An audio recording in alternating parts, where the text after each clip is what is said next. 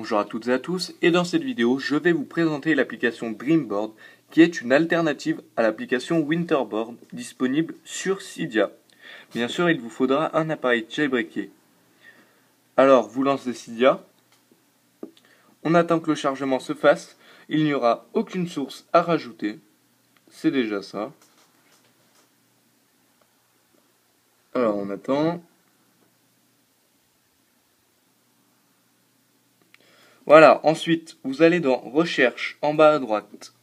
Puis, ici, dans, la barre où vous pouvez écrire, vous allez écrire ceci, Dreamboard.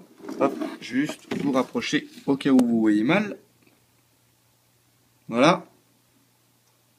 Dreamboard, comme ceci.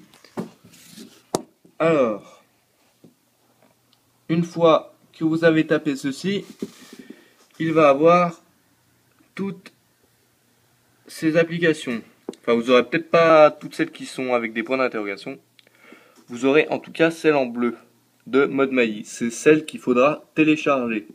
Alors vous faites installer confirmer, je précise qu'elle est gratuite. Ensuite, ça va mettre quand même pas mal de temps à se télécharger et s'installer. Il faudra faire un respring. Donc vous touchez ici et ça le fera tout seul.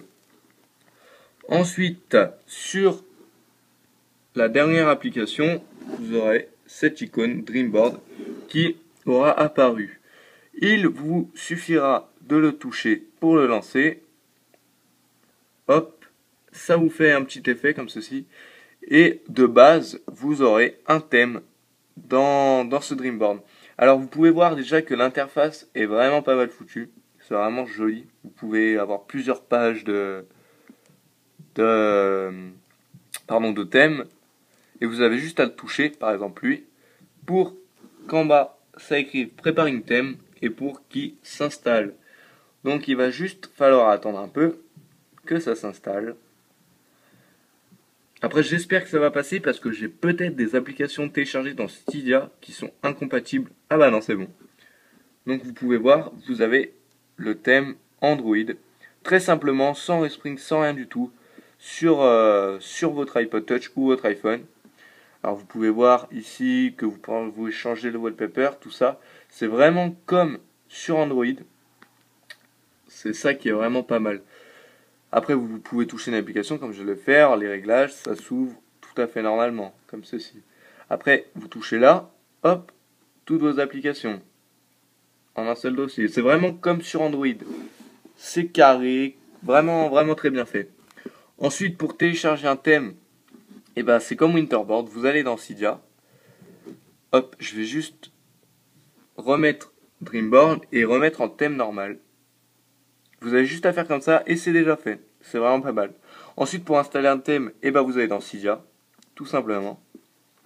Vous allez dans Recherche et vous tapez le nom d'un thème. Si vous n'avez pas de nom de thème et que vous voulez euh, regarder un peu, ben, je vais vous montrer comment faire.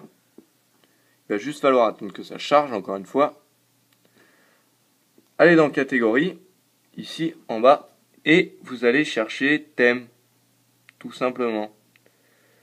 RST, voilà. Et vous choisissez un thème, par exemple thème Dreamboard, ici il faut aller ici, hop, vous l'ouvrez, et vous avez plein de thèmes. Ah, vous, vous en choisissez un, tac, vous touchez ça, installez, confirmer, vous quittez, et il sera dans Dreamboard.